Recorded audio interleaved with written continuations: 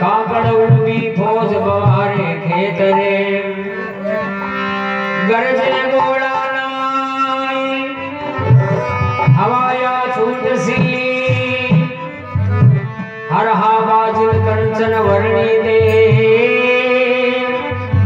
भड़ा फूट सी।